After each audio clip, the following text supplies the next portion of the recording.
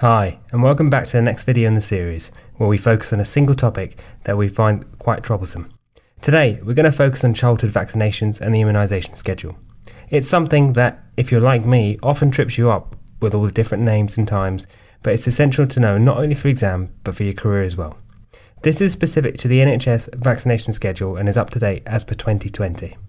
By the end of this whistle stop tour of immunisations, you should have a clearer understanding of the vaccination schedule for both children and adults.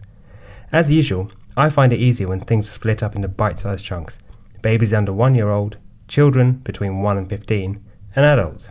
So, let's dive straight in with baby vaccinations under 1 years old. At 8 weeks, a baby is given a 6 in 1 vaccination, their first dose, the oral rotavirus vaccination, and the MEN B vaccination. At 12 weeks, they're given the second dose of the 6 in 1, their first dose of the pneumococcal vaccine, and the second dose of the rotavirus vaccine. And finally, at 16 weeks, they're given the 6 in 1 vaccine, the third dose, and the second dose of the MenB.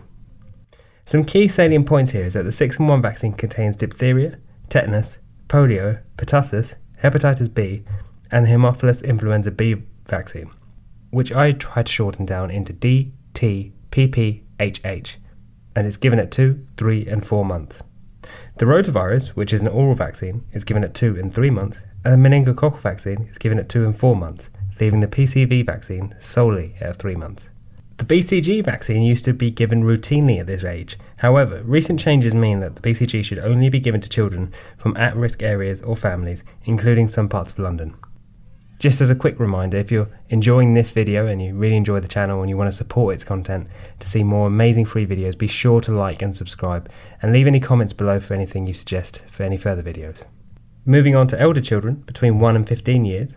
At 1 year, they're given the Hib and Men-C first dose vaccine, the first dose of the MMR, the PCV second dose, and the Men-B third dose. At 3 years, they're given the second dose of the MMR, and the 4 in 1 vaccine that contains DTPP, and at 13 years, the HPV vaccine. At 14 years, they're given the 3 in 1 vaccine, which is just DTP, and the Men ACWY vaccine. A few additional points here children between 2 and 10 are given annual nasal flu vaccines, and the HPV vaccine is now for both boys and girls with the Men ACWY vaccine eligible to all young people up to 25 years old, even if they've missed it, protecting them against four dangerous strains of meningitis. Finally, adults. At the age of 65, you're eligible for one off pneumococcal vaccine as well as an annual flu vaccination, and by the time you're 70, you're eligible for the shingles vaccine.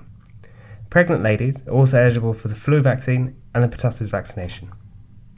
If you can cement what we've been through in this video into your memory, you'll be sure to have it remembered in the exam. And I hope this video helps clarify what can be quite a confusing subject, but if you follow my tips of splitting the ages, I'm sure it can help. Be sure to like and subscribe, and if there's anything you suggest or any questions, please leave a comment below. I'll see you in the next video.